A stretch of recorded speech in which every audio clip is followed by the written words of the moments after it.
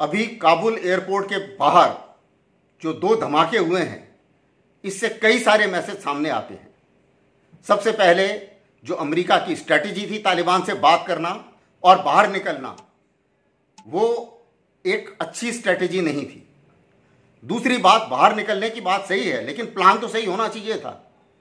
जो evacuation plan था, वो भी सही नहीं था। अगर आप एयरपोर्ट पे बैठे हैं, पूरा रास्ता सिक्योर नहीं है तो लोग एयरपोर्ट पहुँचेंगे कैसे? तो ऑब्वियसली वो तो डिले होगा ही। तीसरी बात आईएसआईएस अटैक करेगा, ये इंफॉर्मेशन सभी के पास थी, बहुत सारे देशों ने दी थी, बहुत सारी एजेंसीज ने दी थी।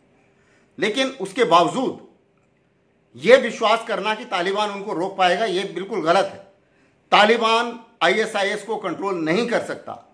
तालिबान सारे टेरर ग्रुप जो अफ़गानिस्तान में है, उनको कंट्रोल नहीं करता। तालिबान ये गारंटी कभी नहीं दे सकता कि उसकी ज़मीन से टेररिस्ट बाहर नहीं जाएँगे और बाहर अटैक नहीं करेंगे।